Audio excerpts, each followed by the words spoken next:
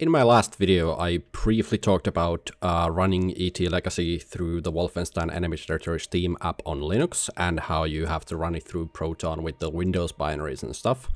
Now, some people in the ET Legacy Discord pointed out to me that this is actually not the case, and that is true. You can actually run the ET Legacy native Linux version through Steam. And it is actually a lot simpler than it is on Windows, which is funny because it's only a Windows game on Steam. Uh, there are basically two ways to do this. I mean, they do essentially the same thing, but it's kind of just how you want to set it up. First of all, if you do not already have the game on your library, you actually cannot do it via the Steam client. You have to go through your browser and log in there and add it at the game to your account from there because the Steam client, uh, if the game is not supported on Linux, the Steam client will not let you add it to your library, even if you have Steam Play enabled. Uh, once it's on your account, you also need to make sure that you have uh, Steam Play enabled for like experimental titles or whatever. So you just go to Steam settings, uh, Steam Play, and enable Steam Play for all other titles. I have currently set it to Proton Experimental. It doesn't really matter what you have it, because again, we're not running it through Proton, we're running it natively. So this first method is if you already have ET Legacy installed on your system and you just simply want to run it through Steam. All you have to do is right click ET on Steam, go to properties and add these launch options. Echo, percentage sign, command, percentage sign, semicolon, and then input the path to your ETL binary in my case, it is this. If you have ETL on your path, you can just type ETL. And also, if you do this, you also need to set base path to the uh, ET Legacy installation folder, because by default, it will default to the working directory, which in this case is the Steam folder for ET, which means that you do not have like legacy mod or anything there. So you just type in plus set set fs underscore base path and get the path there. And now, if you want to, you can add like launch options here, like plus set log file to here. So now when you run it, it will simply launch ET Legacy instead of the ET that is on Steam. And as you can see, it launches just fine. We are running the Linux version, we have Steam overlay, and uh, if we look at Steam, it shows that I'm running ET.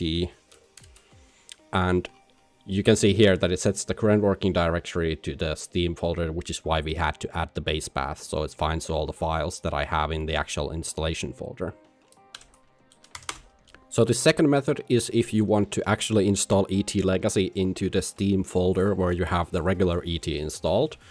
Uh, all you have to do is grab the Linux binaries, either 32-bit or 64-bit, whatever you prefer. Just keep in mind that not all mods are compatible with 64-bit binaries, but I'm just going to choose those because I only play mods that are 64-bit compatible. Uh, just you can just uh, download it straight to the Steam folder. I I have a custom folder uh, for Steam games. I can't exactly remember the, what the default folder is. I believe it is like .steam in your uh, or like .steam library or something in your home folder, but you can obviously just go to the Steam app and do like browse local files for the game and you will get the correct folder. So I'm just gonna save it there and then I'm gonna extract these files to the Steam folder and I actually went to a subfolder, it's fine, I'll just cut these from here and paste them here. And again, it will, just like on Windows, it will actually ask you to overwrite a couple of files. That's fine. So once you've done that, all you have to do is go to Steam again, right click ET, go to properties and type in the same launch option, echo, percentage sign, command, percentage sign, semicolon, and dot slash ETL.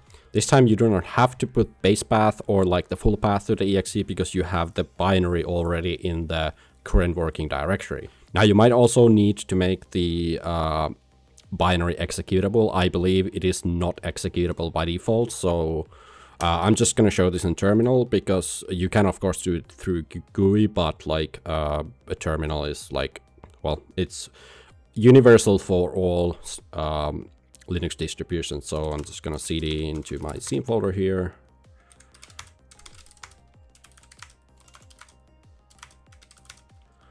and I believe this is the correct folder. Yes, so all you have to do is type uh, chmod plus x etl and etl and there you go, now you, they are executable.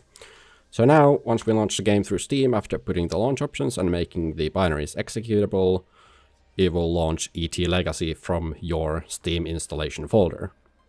And as you can see, it sets the working directory to the Steam folder and it will find all the uh, necessary files from there because you uh, extracted the binaries there. And as you can see, it is running, running natively again on Linux with the Steam integration and stuff.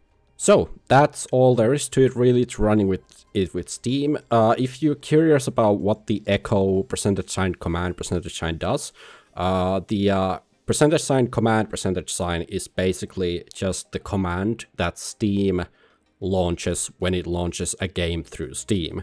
It will basically just run that in terminal on the background. So if when we put echo in front of it, it will actually simply echo the command on terminal instead of actually running it. Uh, if you do not put the echo in front of the command, uh, it will actually launch the regular game and then once you quit it, it will launch ET Legacy. So if that happens to you, check that you put the echo command there.